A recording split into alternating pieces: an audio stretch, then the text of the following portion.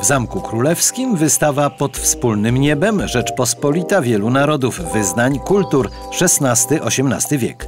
Zorganizowana przez Muzeum Historii Polski we współpracy z Zamkiem Królewskim w Warszawie.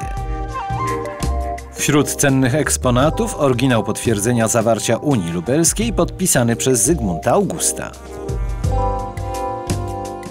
Celem wystawy jest przedstawienie fenomenu dawnej Rzeczpospolitej, jednego z najbardziej zróżnicowanych językowo, wyznaniowo i kulturowo państw wczesno-nowożytnej Europy.